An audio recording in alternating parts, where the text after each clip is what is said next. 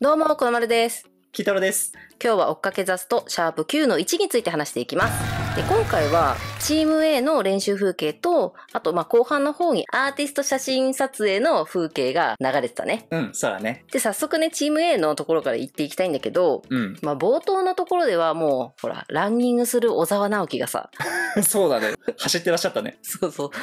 小沢くんがね、うんあの、富士、富士のあたりをさ、まあ、ランニングするじゃんで、山中湖ね、山中湖なめの富士山見ながらさ、すごい。そんな描写まで細かく言うん？え、てかさ、私、前ね、一度ね、山梨に住んでたことあるんよ。ああ、そうだよね。そうそうそう。で、たまに富士山、まあ、そこの付近じゃなかったんだけど、たまになんかやっぱ近いからさ、行くわけよね。うんうんで、そこら辺って富士のふもとって、まあ、そこの山中湖ら辺かわからんけど、富士吉田っていう地域があって、もうさ、ああ、あ、でも富士吉田わかるよ。知ってる知ってる。そうそうそう、富士吉田って地域があって、そこの吉田うどんっていう B 級グルメが大好きな。マジで何の話？なんかね、うどんなんだけど、全然違う。とりあえず、富士吉田らへんかなと思って、吉田うどん食べれるかなとか勝手にすごい、どうでもいい話もねした、今。合宿のご飯にうどん出るかね？でも、吉田うどんってすっごい麺が太くて、あの、硬いんよ。結構硬くて。ああ、腰があるんだ。いや、もう腰とかじゃなくて、もう小麦なんなんか、もはや。あそうなん？え、そう、すっごい面白いよ。でも、癖になるんよ。で、私大好きなんだけど、うんうんうんうん。でも消化めっちゃ悪そうって思っとる。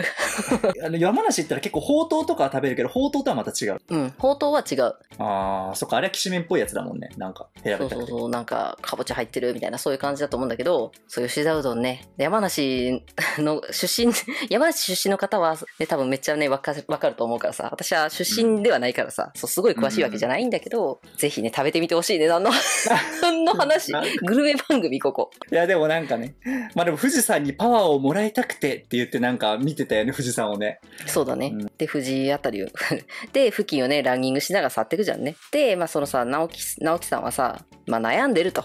まあ、どうアピールするかっていうとこをまず悩んでて、で、しかもまあ、性格的に、その自分がやりたくても我慢しちゃうみたいな。そうだね。他の人がやりたいって言ったら譲っちゃうみたいなね。うんうん。でも、オーディションって、そうじゃ、それだとダメだって、多分前回の日プね、うん、出た時に、やっぱ後悔みたいなの残ってて、で、なんかさ、胸の内をさ、こう、話し始めるじゃん。うん。なんかちょっとずつやっぱ日プってさ、ね、うちらはさ、一視聴者として見てて、そうなんか楽しんでたけど、やっぱ本人出てる人たちはやっぱね、こう後悔が残ったりとか、トラウマみたいなものが残ったりして、ちょっと心苦しいところでもあるよね。そうだね。なんかあそこは本当日プ見てたからこそ、結構ね、心痛かったね。そうなんよ。でさ、特にさ、その走り終わった後のさ、うん走り終わった後、てんくんとそうたさん考えたさ、踊り、まあ振り付け振り入れみたいなとこやってたけど、まあ集中がちょっとあまりできないみたいなさ、こと言い始めたじゃん、うん今回。そうだね。できてなかったみたいな。うん、なんか浮かない表情だったよね。そうだ。なんか結構そのダンスのポジションに納得いってない感じだったよね。うん。で、それをさ、一回気にし始めたら、なんかどうしようみたいなモヤモヤが多分もう残り出して余計ね、集中できないという悪循環に陥ってたね。うん。でもそこでさ、小沢くん今回さ、その偉いというかさ、その前回社長がランくんかな？ランくんに言ってたさ、モヤモヤを意外と共有してみることって大事だよみたいなことを言ってたじゃん。うん、そうだね。もやもやを解決するんじゃなくて、一回それを共有するってね。そうそうそう。なんかそれに近いものをしてたよね、小沢くんは。そうだね。小沢くんは、その自ら多分日分の時の教訓をバネに、うん、今回は変わろうと思ったんだろうね。そう。だからそこでさ、みんなの、みんなになんかこう胸の内みたいな話し始めるじゃん。その胸の内をはじ、話し始める小沢くもなんか偉いなと思ったしさ、やっぱ結構勇気のいることじゃん、こういうのって。いや、そうだね。いや、わかる。本当そうだね。うん、めちゃく、うんなんかめちゃくちゃなんか感じた小沢くんの気持ちを。ね。でもさ、そこでなんかすごいいいなと思ったんが、やっぱそうたさんとか、レオくんとか、なんか別になんかやっぱ全然言ってくれていいよみたいな。うんうん。このなんか、そういう雰囲気を醸し出すみんながすごいみたいな。わかる。しかもさ、そのさ、その言い方とか雰囲気とかもめちゃくちゃ自然だったよね。そうそうそレオくんとかも我慢しなくていいと思うよ、みたいな。う。うん。一言一言が優しいからか、多分よりもっとさ、その小沢くんもどんどん、もっと胸の内をはじ話し始めるじゃん。うん、そうだね。結構もう素直に言ってくようになったよね、どんどんね。うん。で、そこでさっき言ったさ、日風の経験のみたいなところがさ、うん。なんかど、よりなんか深掘りみたいな感じで話し始めてさ、うん。で、要所要所でさ、インタビューが挟まれるじゃん。うん。もうそこがさ、ちょっと、うちら的にはもう、かなりね、そのさっき心苦しいって言ったけど、もうどんどん心苦しくなるんよ、ここで。わかる。やっぱそう。ね、まあ日プはね、ほんと残酷だからね。視聴者投票ってやっぱある程度残酷というかね、なんかさ、ごめん、日プの特性というか、まあ、プデュの特性としてさ、てか視聴者投票の特性かな？なんかよくあるのが、まあ、今回みたいに小沢くんみたいに自分のポジションに納得いってない場合って結構あると思うんよ。そうだね。みんながみんなほ納得できることなんてないもんね。そうそうそう。でも、こういう視聴者投票って、大体そこに対して、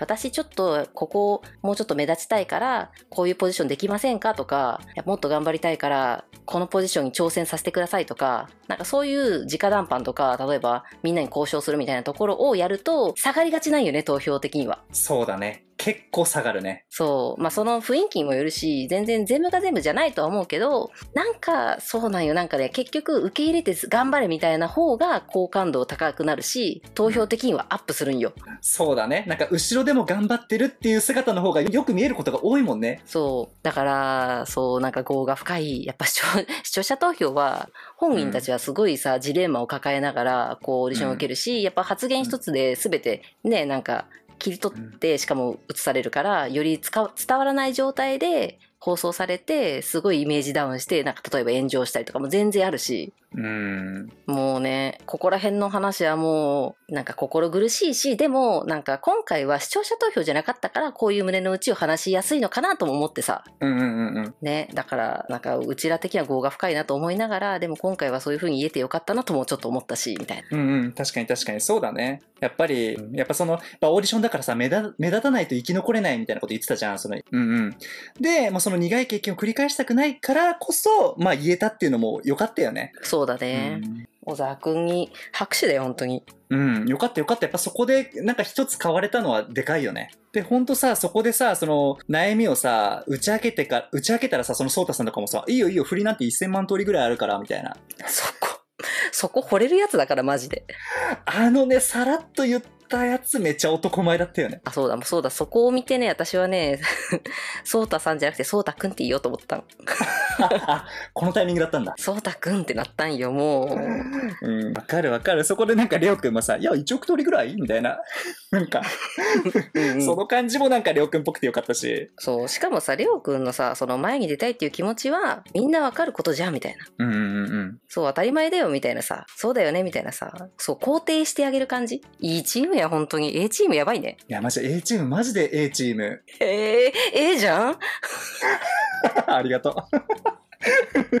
いやー、すごいね。なんか人的に恵まれてるチームだったね、ここね。いや、そうだね。ここは本当にチーム感みたいのここでまたさらに感じ、もう結構さ、前のお話からは結構感じてはいたけど、うん。ここでね、一つと、直樹くんが、もう小沢くんが、その壁にぶち当たったけど、うん、それもね、なんか乗り越えるチームの姿をこの9の1で見見れて、いや、めちゃくちゃいいなと思って。そうだね。こうやって協力してくれてさ。ね。だからさ、やっぱ小沢くんもすごく言ってよかったなって思うしって言ってて。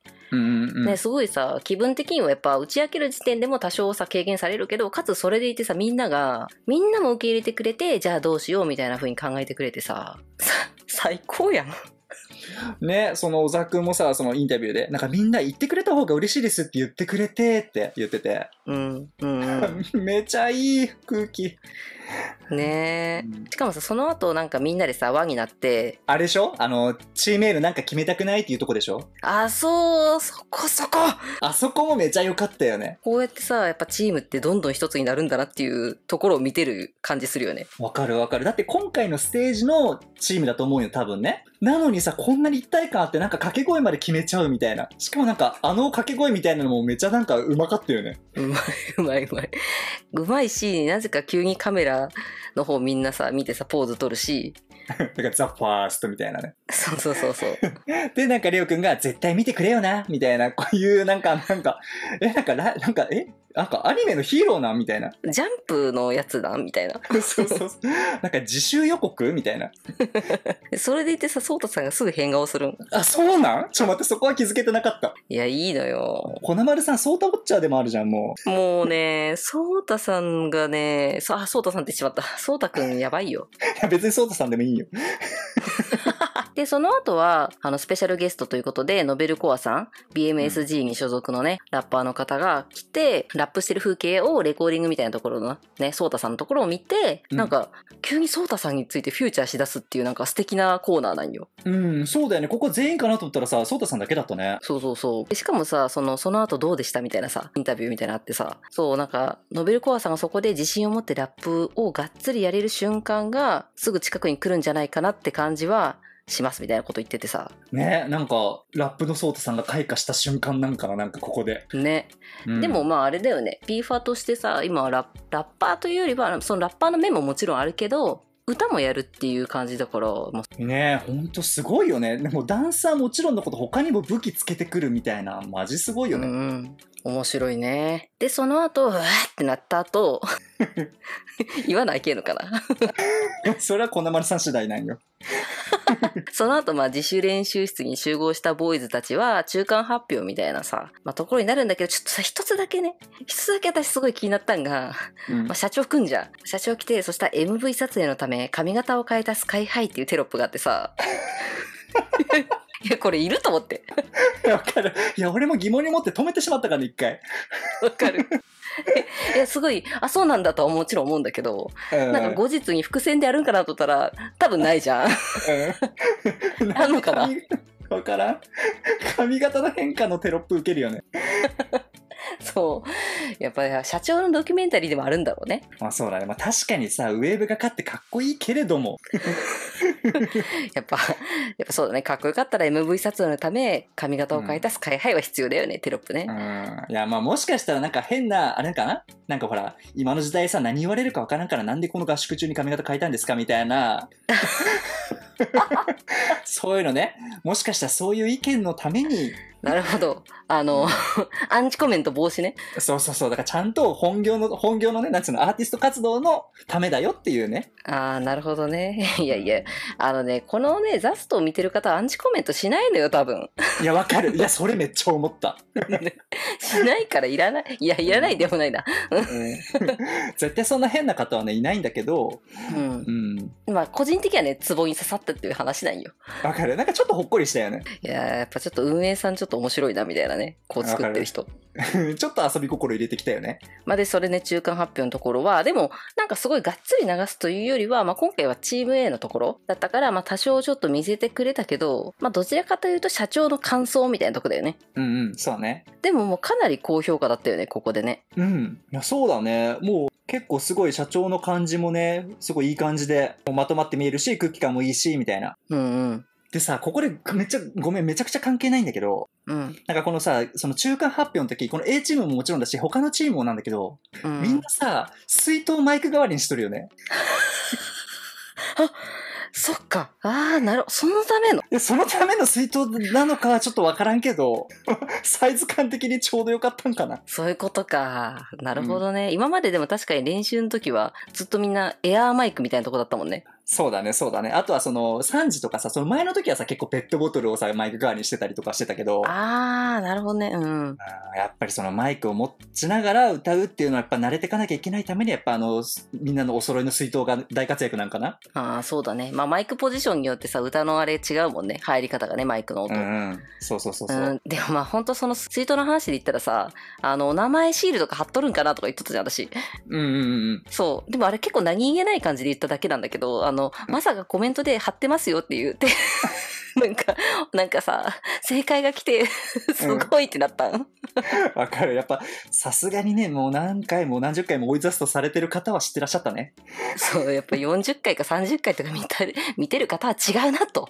うんいやーさすがだったねいろいろこういう細かいところも皆さん素晴らしくてなんか勉強になるね勉強になる。ありがとうございます、いつも。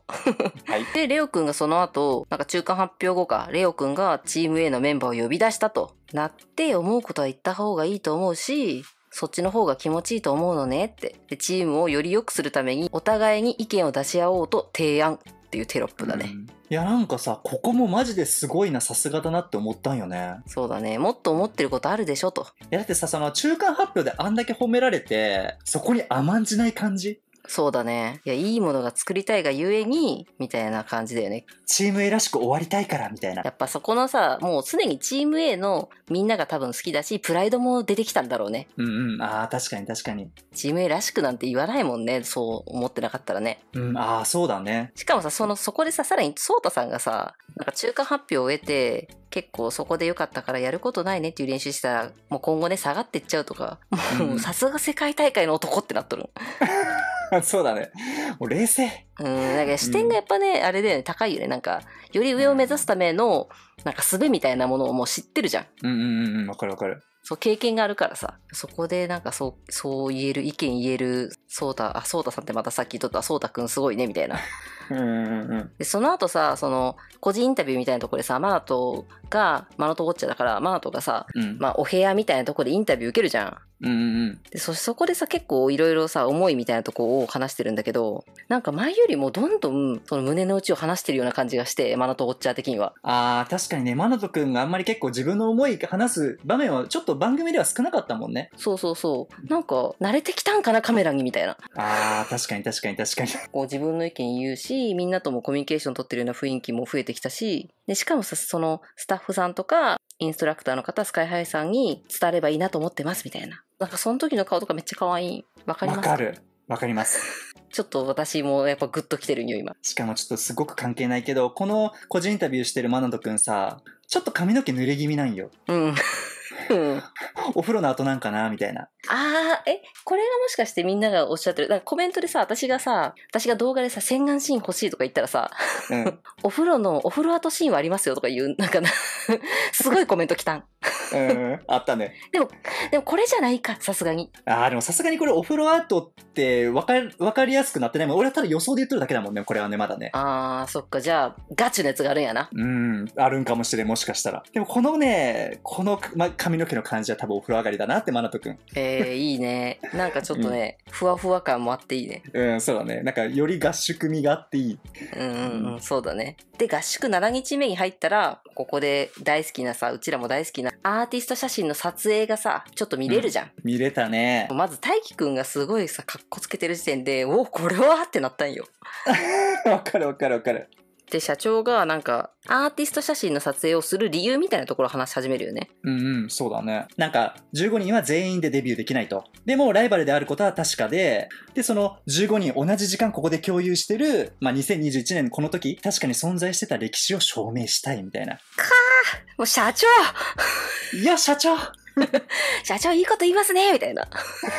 や、素晴らしい。なんかさ、なんかその、まだデビューしてないけど、こう、アーティスト写真ってさ、その、志す人にとってはめちゃくちゃ夢じゃん？いや、そうなんよ。これでモチベとかめちゃくちゃ高まるしね、まず。そうそうそうそう。なんかその15人の歴史、なんていうの、この合宿の、合宿での足跡みたいのをここで残すみたいな、それにこれを使うの素晴らしいよね。わかる。てかさ、この、しかもこの、そのスカイハイ社長の、なんかさ、言葉と同時に後ろで、後ろってかまあ画像でね、画面では、結構みんなのさ、メイク中の顔とかさ、うんうんうんポンって出てくじゃん。とかまうあ、春闘がさ、もうちょっとビーファ味がある。言ってしまえば。うん。わかるわかるわかる。あれもう、デビューの顔やみたいな、なんていうの？やっぱさ、ちょっとメイクすることによって、結構印象また変わったよね。変わるわかるわかるわかる。そうだ、シュント君すごいかっこよくなってるね、さらにね。そう。確かにね、オーディションさ、今まででさ、その、この合宿のここまではさ、みんな、もうすっぴんっていうか、あんまりそのメイクってプロの人にはしてもらってないもんね、きっとね。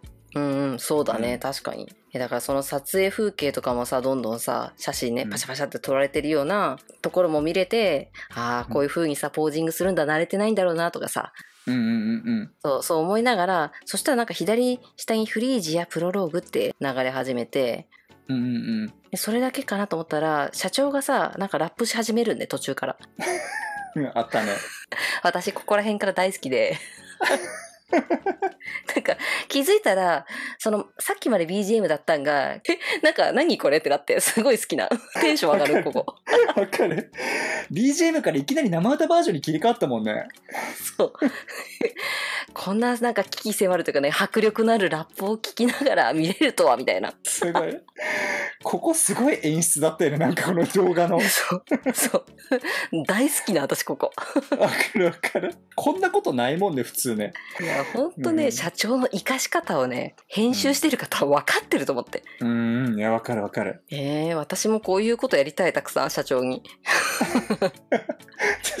社長の素材を生かした編集したいよね。そうそうそう。やっぱなんかね、普通じゃない感じ？こういうの。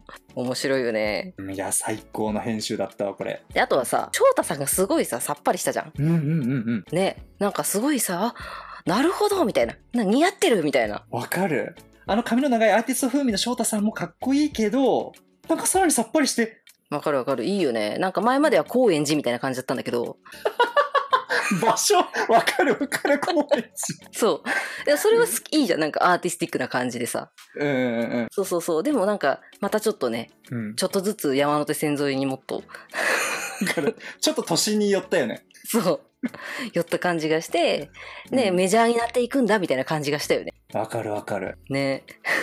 もうちょっと高円寺、高円寺ね、いいよね。うん、いい、好き好き、古着がいいよね。古着がいっぱいあるから。そううんそうそうそう。で、あとはさ、そのやっぱ写真撮影で行ったら、やっぱりょうきくんとるいくん、この二人が結構さ、やっぱ慣れてるみたいな。うんうんうんうんうん。ただでさえお顔が強いのにさ、やっぱ俳優業やってて多分そういったさ、もう写真撮られるみたいなところは多分今までね、もちろんあっただろうから、わかるわかる。取られ慣れてる感はあるよね。ポージングにやっぱちょっとなんか違うのよ。そうだね。うん、で、あとるいくんもやっぱさ、目つきというかさ、顔つきちげえなみたいなさ。わかるわかる。なんかいいよね。なんか、ルイくんまだ13歳とかなのになんかもう、ともう取られてる時はもうめちゃモデルだもんね。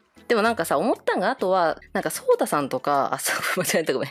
しょ、そうたくんとか、翔太さんとか、うん。あの、二人はさ、ダンスやっぱ得意だから、そのダンスで、こう動きをさ、写真撮ってもらうみたいなさ、あー、わかる。ポージングがダンスだったよね。うん。こういう、ダンサーはそう撮るんかと思ってさ、わかるわかる。そうわかる。なんかいいよね。独特っていうか、やっぱ、あこういう見せ方、アプローチがあるんだみたいなね。うん、そうそうそう。まあ、あとは、まあ、あとは最後にね、竜兵くんやべえなみたいなね。わかる。あの、ファーっていうか、モハモハ着た竜兵くんね。うん。でさ、また写真撮影の時は目が違うのよ。わかる。なんか着せられとる時は、え、僕こんなの着るのみたいな顔しときながら撮られた時めっちゃかっこいいね。なんかさ、スイッチ入る系の人じゃんね、竜兵くんって。そうだね。うん、ステージとか、そういう時に一気に変わるみたいなタイプだから、やうん。っぱそのステージの時の名刺取るんよね。しかもやっぱさ、メイク映えするよね。うわー、そうなんよ。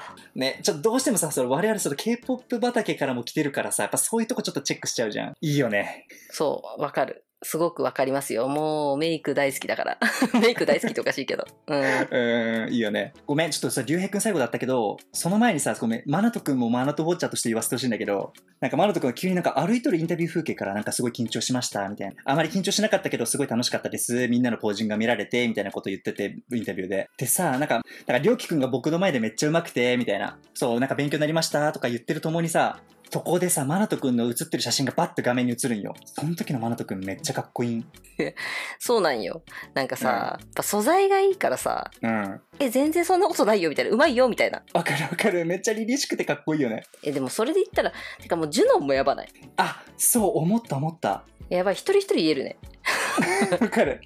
ジュノン君もスイッチタイプだよね。いや、なんかそう、このアーティスト写真で、あれ、ジュノン君ちょっとアザラシからちょっと変わっとるの。そう、もうメンバーの、ね、あの時のさ、うちらが戸惑いをさ、ええ覚え始めた、そう、あのメンバーになったさ、ジュノンの感じ出とるみたいなさ。そうそうそうそう、そうなん。だんだんこうやって変わってくるんだ、みたいな。で、それでさ、最後、まあ、みんなでさ、社長真ん中にして全員で撮るじゃん。もう圧巻だよね。やばい。てか、あれ、エモいよね、なんか。うーん、いいよね。うん。そうなんか皆さんさ、その合宿がやばいって、まあもうそう言ってらっしゃって、まあ我々もその合宿見始めてさ、もうすでにやばいと思っとるけど、うん。なんか、この最後のこの15人で、15人プラス社長で撮った写真見て、うんあ、なんかやっぱこの合宿メンバーっていうのがやっぱ今後肝っていうかなんていうの、なんか特別なんだなみたいな。うーん、そうだね。うん、なんかそういうのを感じたね。そうだね。そうだよね。なんか全員で残れんがかな いやいや、もう結果決まっとるんよ。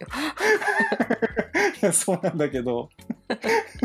いや、そうだね。その時、てかもう絶対みんななんてそう思っとるよね。これ当時見てた人たちなんて。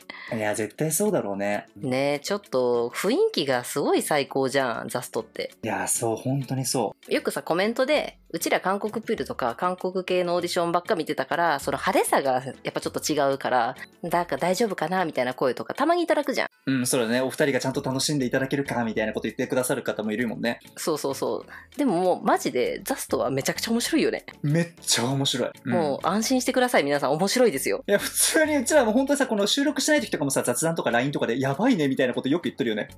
言っとる言っとる。めっちゃおもろいもん。ね。うちら本当に面白くないって言わんもんね。太郎さんなんて特にそうなんだから。ちょっと、それはないし。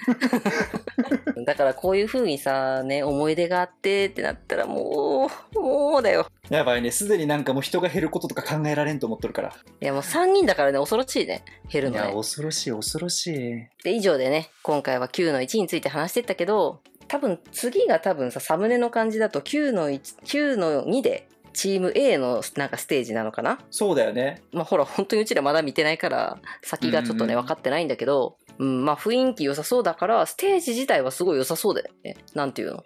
うんね。楽しみだし、すごいいいものを見せてくれそうな気がするよね。しかもさ、その三次審査の時は、もうなんか、練習着でゼッケンつけて踊るみたいな感じだったけど、今回は多分衣装とか着るんだろうね、きっとね。